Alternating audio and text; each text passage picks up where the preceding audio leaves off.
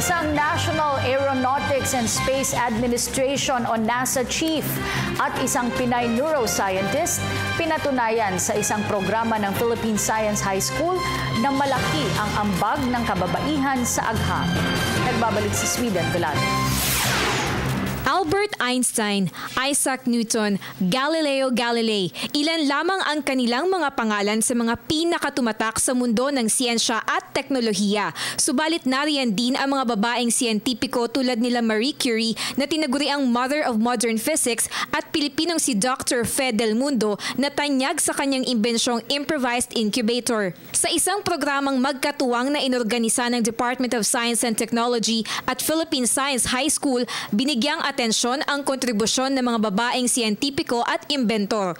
Ayon kay Dr. Mary Ann Go, Pisay at ngayon isa ng neuroscientist dahil sa mga responsibilidad tulad ng pagbuo at pag-aalaga ng pamilya, kalimitan ay kaunti na lamang ang mga babaeng siyentipiko na umaabot sa mga mas matataas na ranggo. Very strong in the lower levels, I would say, but as you go up the ranks in more senior positions, there are, there are less and less women. This is true for many of the different fields in science. Gayunpaman, hinimok ni National Aeronautics and Space Administration o NASA Chief Scientist Dr. Ellen Stofan ang mga batang mag-aaral ng Pisay na panatilihin ang kumpiyansa at bilib sa sarili dahil anuman ang iyong kasarian, may posisyon ka sa larangan ng siyensya at teknolohiya. So I really want to encourage girls to say, if anybody ever discouraged you, just say, I belong here.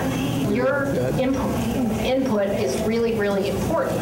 Tips ni Dr. Go sa mga future Pinoy scientists To be really passionate about uh, what what what you're working on and just really try to do things excellently and results will come. para sa telebisyon ng bayan, ako si Sweden Velado.